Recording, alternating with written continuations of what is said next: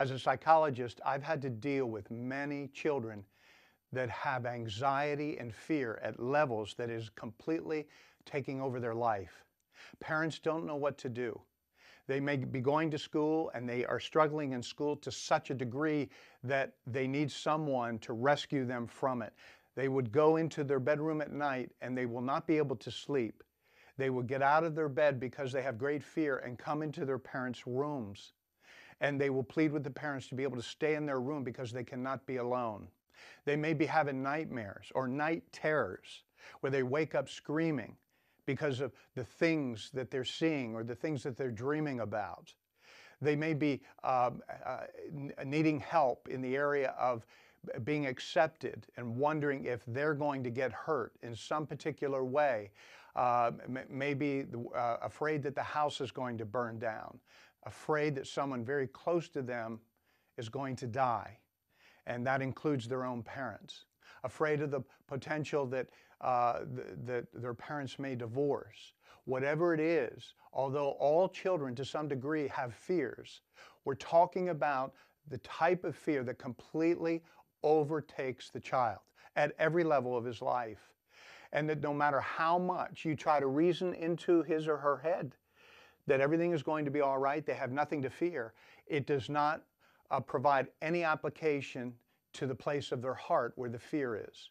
You see, fear is a spirit. It may manifest as anxiety and worry and terror, but the fact is, it's a spirit that has come against the soul of your child.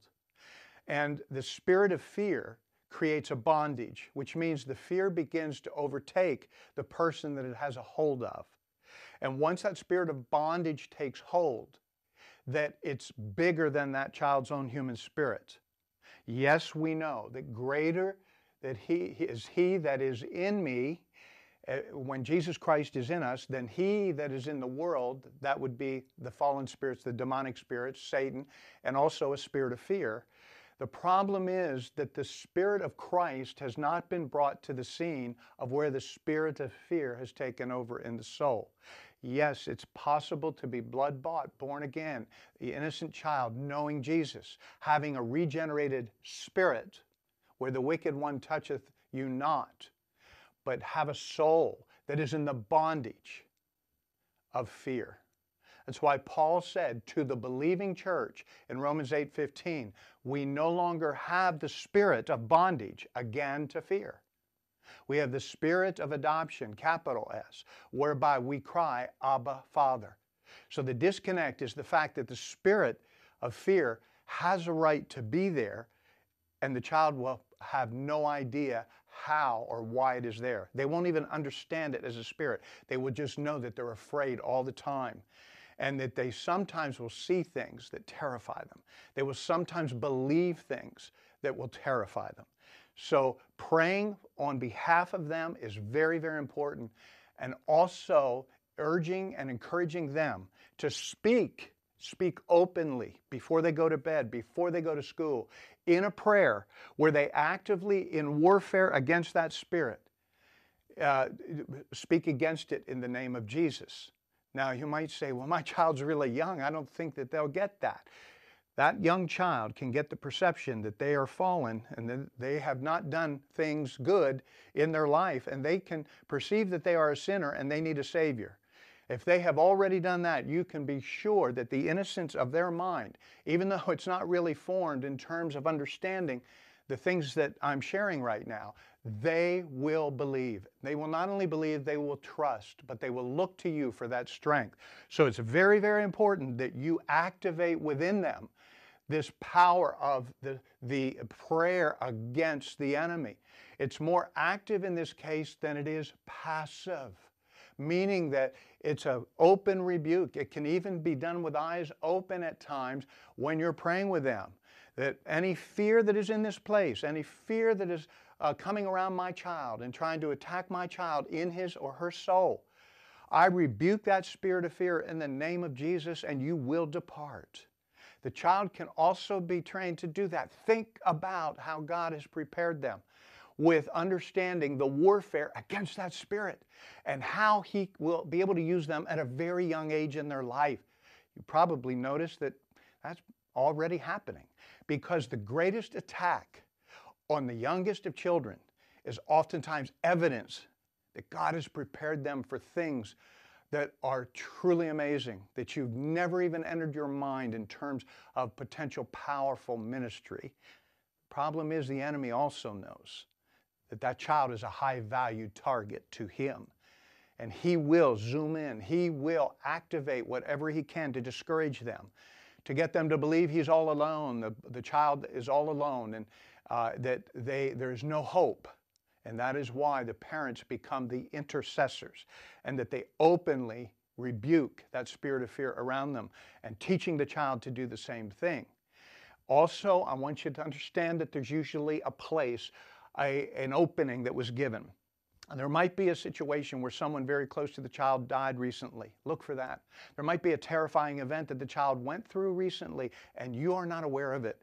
There might be a situation where there had been wrong kind of touch when they were alone at some friend's house or some other relative's home. You have to leave everything open to let God show you, not to go out and just automatically assume it's this or this or that, but let God reveal it. Search me, O God. Search the child's heart. Bring forth. Help us to know. Reveal to us. So that's part of the prayer to look for the place that the fear has come in. It's very clear in the scriptures, especially in, Ephesians 4 26 and 27. Verse 27 says that we can give a place to the enemy. We often give a place when we're not trusting God in our pain. We're not giving a, we are, we're giving a place to the enemy when we don't confess our sin before him. We're giving a place to the devil when we have a root of bitterness that's begun to sprung, spring up, or we have uh, anger that has uh, gone into rage. And that gives a place, an invitation to the enemy to torment our soul. So there is that child, innocently known of God, belonging to the Lord Jesus Christ, but being batted around by the enemy through this spirit of fear. It's important to give him or her hope. Speak words of hope. Speak life into them. The, the power of life and death is in the tongue. The power of blessing and cursing is in the tongue. Bless them and, and tell them that you speak life of Jesus Christ into them and over them. So, it, and this is not a one time thing. This is a constant, repetitive thing day by day, day and night, until that enemy has been put on notice and that child has developed a strength and God gives you the revelation of where that child is to surrender before God. Because when God is given liberty to show us any one of us what may be in there hindering us from being having the fullness in him then we are to surrender it. Maybe we need to confess it. Maybe we need to uh, uh, repent from something.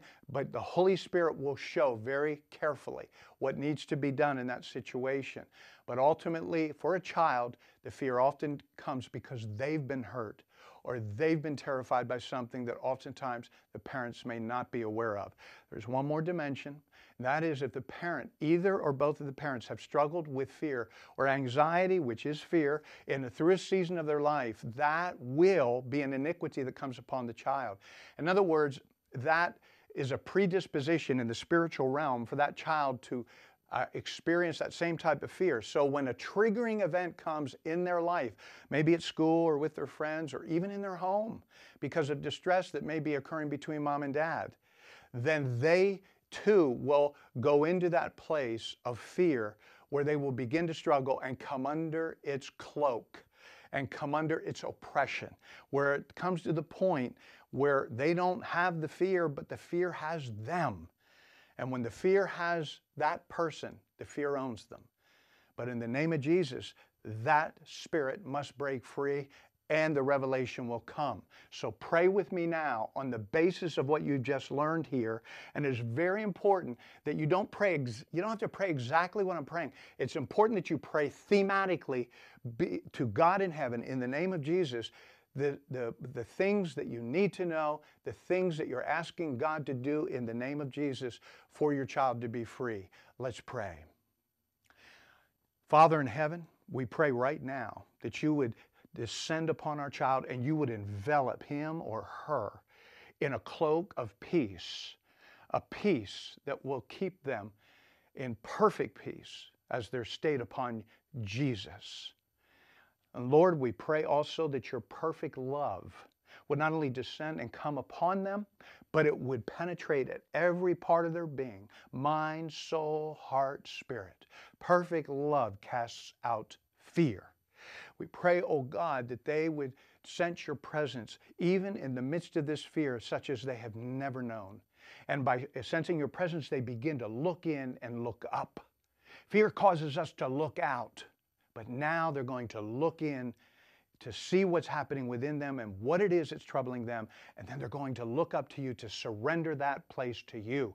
Father, we as parents are asking in our intercession that you would also reveal to us. We do not want to interfere, but we do want to intervene at the place our child needs us most. We know this is an opportunity for you to prepare them for amazing ministry in the years ahead. But at the same time, we want to be their protector. And we need your urgency in us to show us where to protect. Now, Lord, we're asking to see the source of why that fear is there in our child. We're asking to see what may have landed within their soul in a way that is giving access to torment them when they sleep at night or when they uh, uh, don't want to go to school or when they begin to have a meltdown. We pray, oh God, that you would show us that place, reveal it, and then reveal to us how we are to surrender it to you. Whether it be in the form of trusting you in the pain of what has happened, whether it be in the form of bitterness that has come because of, of, of how the, the, uh, the child, our child has been hurt, or whether it's the need for repentance and to come before you, God, and ask for your forgiveness. We trust you for the great and glorious things you're about to do. In the name of Jesus, we pray. Amen.